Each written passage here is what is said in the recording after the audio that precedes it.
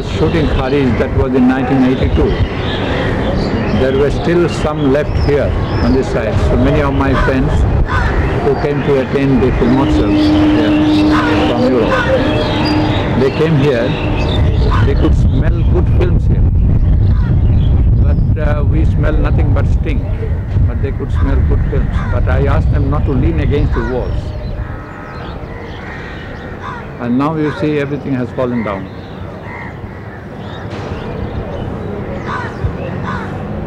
But if you love catching fish, you can come here. If you are a good angler, you can come here. And you have to take the permission of the owners of the studio.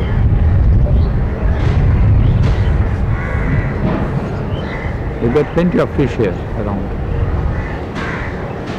And how old is this? Uh, uh,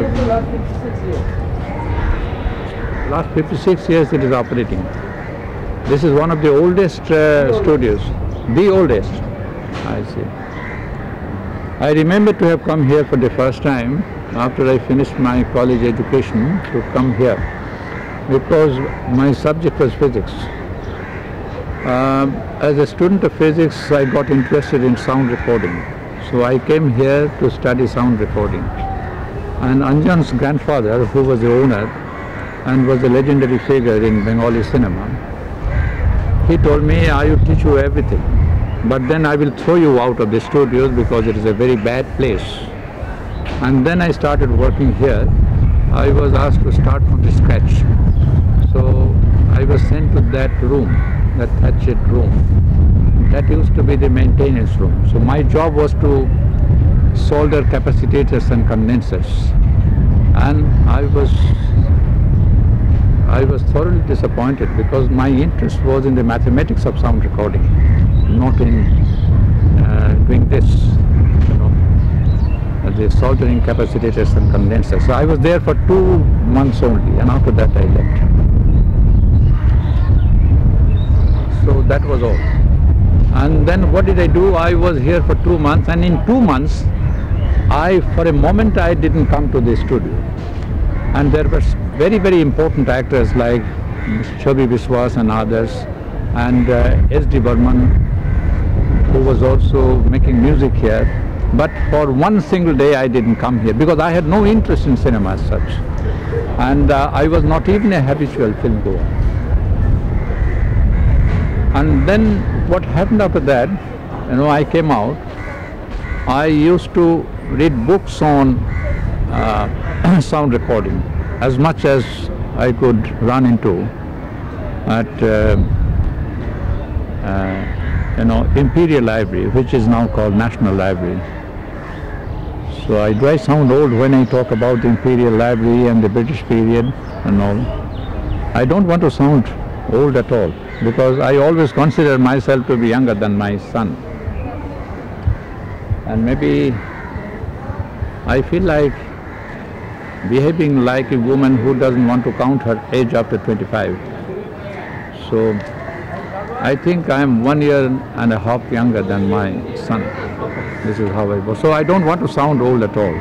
But that was this uh, Imperial Library when I started uh, reading books on sound recording and eventually and very accidentally I ran into a book on the aesthetics of cinema and I was bowled over completely. And then I started reading books on the aesthetics of cinema, as many books as could be available in the library, in Imperial Library. And then I started watching films, mostly Indian films and the Hollywood films. So I didn't find anything of whatever I could read in the books. So my, my passion for cinema, which I derived from the books, and my hatred for cinema, the way cinema was being made, two things grew together. I started watching films, mostly Indian films, and I hated these films. But since then, I started writing on cinema, on the aesthetics of cinema, on cinema and poetry, on cinema and painting, on the dialectics of cinema, something like this. And then I thought I could be a good filmmaker. And when I made my first film without having much of education, practical education, well, a woman uh, actress very famous at that time. She became a producer. She thought I could make a film. And I made one. And that was the biggest of all big disasters that could ever happen under the sun. It was a lousy film, lousiest of all lousy films ever made. And I thought filmmaking is not my cup of tea and I left filmmaking and became a medical detailer, selling medicines without knowing anything of medicine. But since I thought that I could talk well and the doctors also thought so, I became quite important as a med medicine seller. But then left the job and started making films again.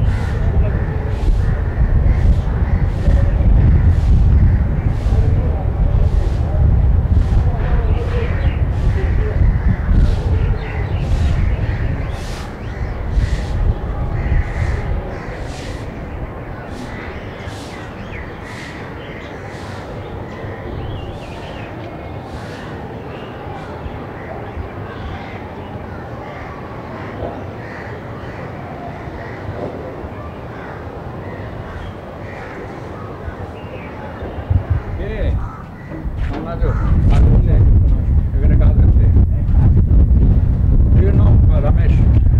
He was in my film. I had him in Akaler Sandhane as one of the faces of me. And he is working here for quite a long time.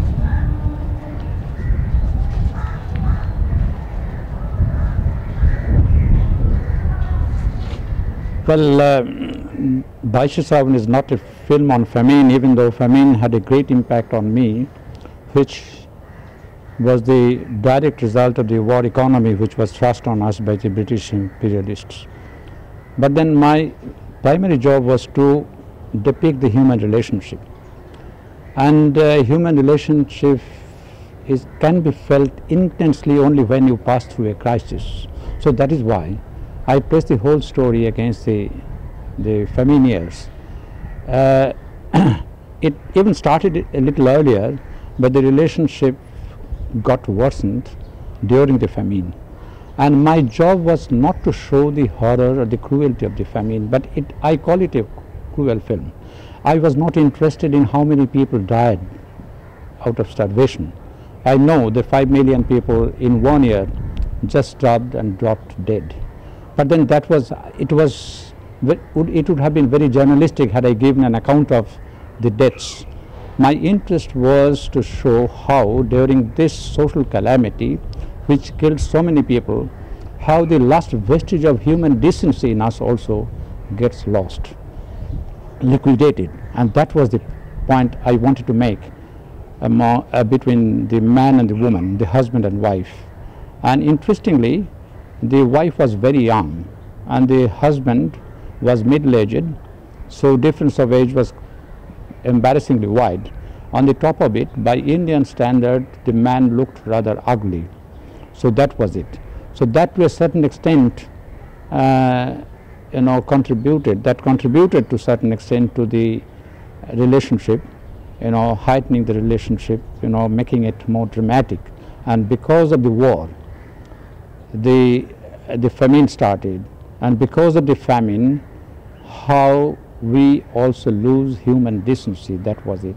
Can you think of any scene today that somehow symbolizes for you the essence of that loss of human decency in, in that? Well, that was when uh, the family starved for three days, didn't have a grain of rice to eat. Then finally on the fourth day, the husband could organize some rice for them. And the man ate the entire rice like a glutton. And when he was eating, as he was eating, he didn't stop for a moment. He was looking into the bowl. And the woman, who was also starving for three days, what did she do? She was she looked deep into the man with hatred which could be read on the face of the woman, Madhavi. And she played marvelous role. And she was looking deep into the man and was pouring rice, giving rice to him. And when it came to her, she had very little to eat and she didn't eat at all. And when the man could realize that, the, that he ate all the food and didn't leave much for the woman, and the woman was decent enough not to say it, but by gesture she wanted to make it known that you didn't leave anything for me. But she had that element of decency. Why? She didn't say it. She was not articulate about it. And right at the moment, the man thought, What did I do? I wish I could vomit it out.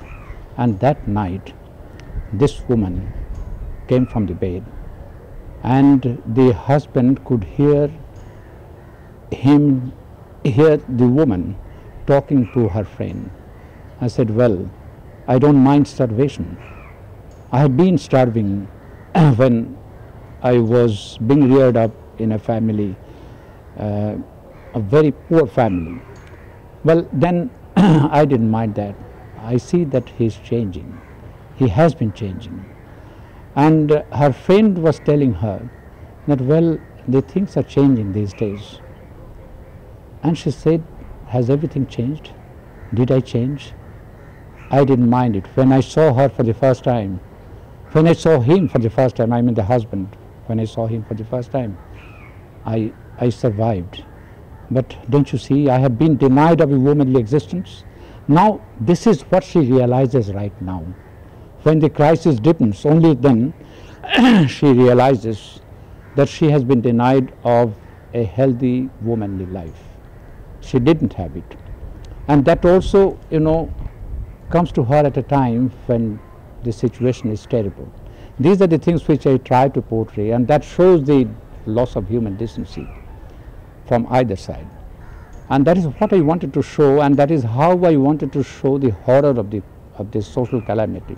You know, when you come to social calamities, I mean, in your films, especially uh, the, more overtly political phase of your career, uh, films like Interview, Calcutta 71, uh, there is almost an agitprop style. There is almost uh, a stridency, is almost one can say, a very strong anger. Uh, and yet there is also experimentation. There Mm. not that, that narrative style which was there in Baishey Shravan. It is, Yes. you know, True. uh, why did you choose to depart? Well, I have always been moving uh, along with the time, and the time had been chasing me. So this is what happened here as well. Baishey Shravan was made in 1960 when I took to the narrative style and I wanted to tell a complete fleshy story.